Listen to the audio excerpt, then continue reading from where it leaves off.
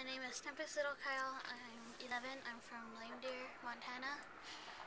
Uh, I keep coming back. It's my third year going on a run, and I come back every year because I think it's a fun experience. Everyone should learn how or what our ancestors did for us, and what we should be proud of of what we have this day, these kind of days, and that's pretty much it.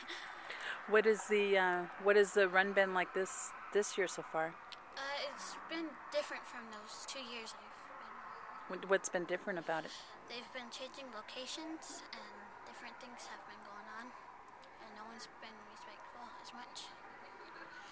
And um, it's real.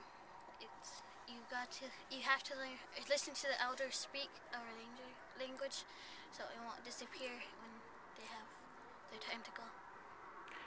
Okay. Um, what what's the what do you like most about the the uh, this 400 mile run?